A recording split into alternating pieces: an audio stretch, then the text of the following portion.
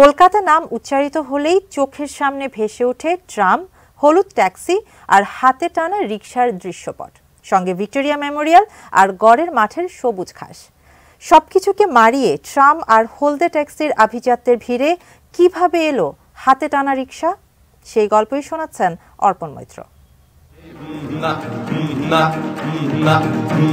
ঘোড়ায় টানা এবং মোটরগাড়ির দাপটে এই উপমহাদেশে পালকির দিন ঘুচে গিয়েছিল অনেক আগেই। তার কফিনে শেষ পেরেক ঠুকে দেয় রিক্সা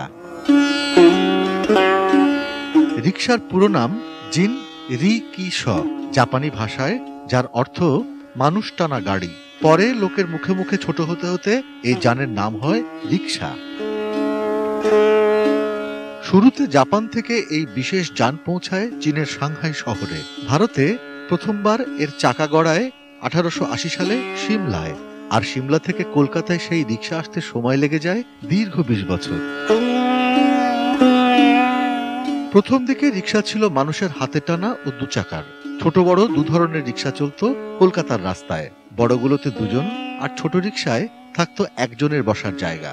অনেক পরে রিক্সায় বসানো হয় চেইন ও প্যাডেল আর রিক্সার ঘণ্টার টুংটাং শব্দের আড়ালে চাপা পড়ে যায় পালকির গান। নতুন আসা এই যানটি ছিল কলকাতার চীনা বাসিন্দাদের তত্ত্বাবধানে। কলকাতার প্রথম দিকে রিক্সা চালকরা সবাই ছিলেন চীনা সম্প্রদায়ের। নিজেদের প্রয়োজনেই চীনা সম্প্রদায়ের কিছু মানুষ কলকাতায় রিক্সা আমদানি করেন। তবে কয়েক বছরের মধ্যেই এই রিক্সা চালক পেশায় আধিপত্য বিস্তার করে ভারতীয়রা।